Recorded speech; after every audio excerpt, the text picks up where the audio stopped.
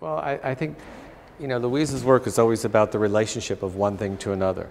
Whether something is inside something, whether something is hidden, whether something is joined, whether it's separated, what is the distance.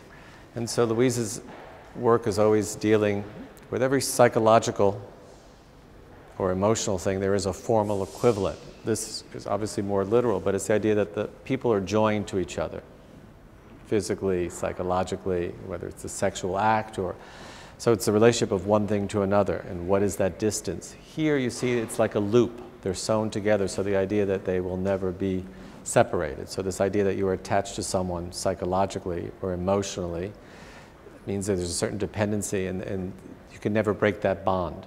Okay. At the same time as that you need that bond, you're also crippled by it because it causes pain. You're also don't live up to the expectations or it's not what you wanted or the desire is not equal.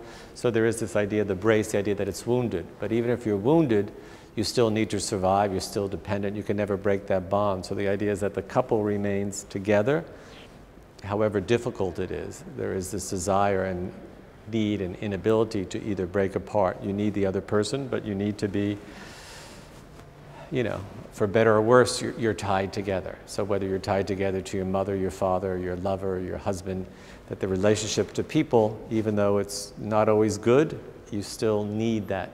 There's still that dependency, and even though there's maybe a desire to get away, there is no escape. So you, so you have to deal with the difficulties. You have to deal with the,